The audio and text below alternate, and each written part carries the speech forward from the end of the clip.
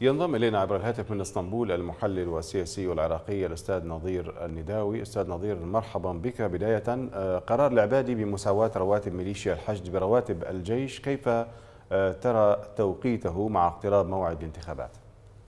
حياك الله وحيا مشاهدي قناتكم الكريمة، حقيقة هذا القرار الذي جاء بعد إقرار الموازنة المالية لسنة 2018 جاء لتعديل موضوع الرواتب لميليشيا الحشد لأنها كانت أقل من يعني أقرانهم بالجيش العراقي.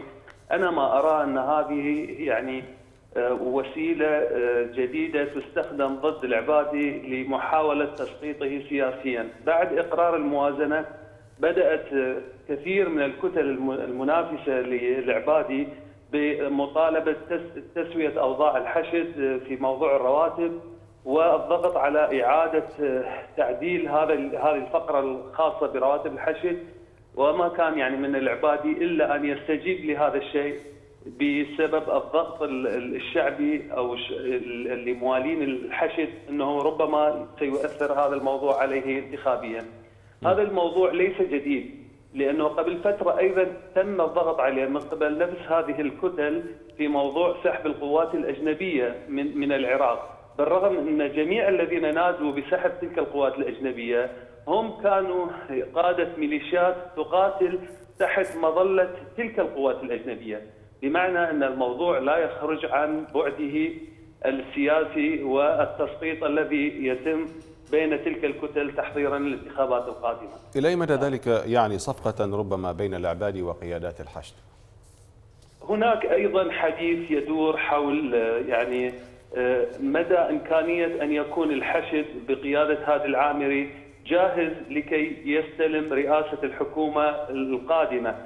كما تعلم أخي الكريم الآن ايران تدعم بقوة هذه الكتل السياسية التابعة للحشد لكي تستلم السلطة بقيادة هادي العامري.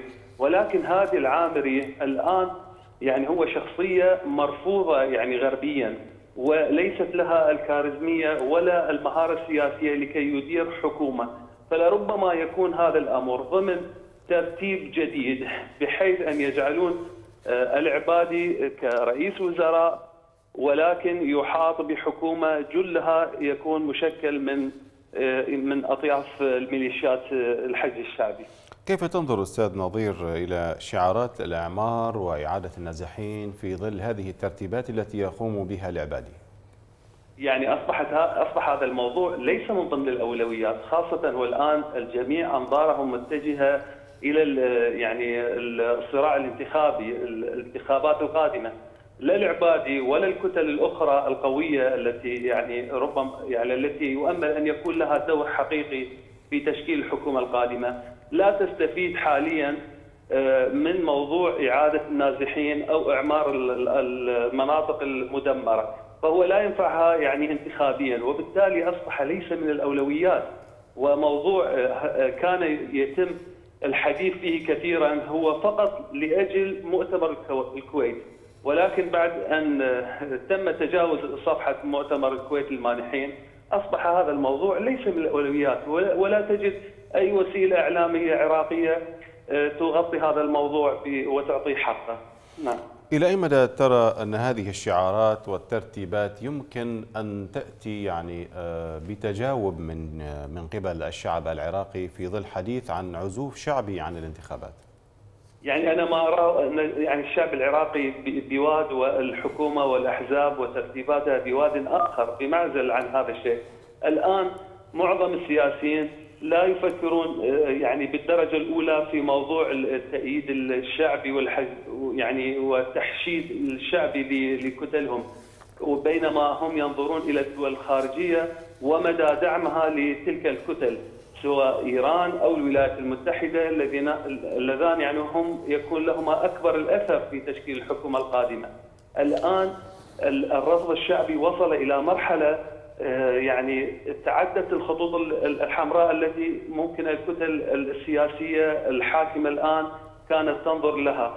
الآن وصلت الأمور إنه لا توجد ثقة من الشعب العراقي بأي جهة سياسية لأن طيلة 15 سنة لم تقدم شيء آه، يخدم المواطن ويخدم هذا الوطن. وبالتالي الآن الساسة يعني لا ينظرون إلى إلى يعني مزاج الناخب العراقي. إنما ينظرون يعني يحاولون تحشيد الناس وتحشيد الشعب إما طائفيا أو عن طريق شراء الأصوات بالأموال. وحتى هذا أنا أشك إنه ممكن أن ينفع في يعني في هذه المسألة. لذلك الآن أعينهم منصبة على دول الخارج التي لها تأثير كبير في يعني تشكيل العملية السياسية والحكومة السياسية القادمة. من إسطنبول المحلله السياسيه العراقيه الأستاذ نظير النداوي شكرا جزيلا لك.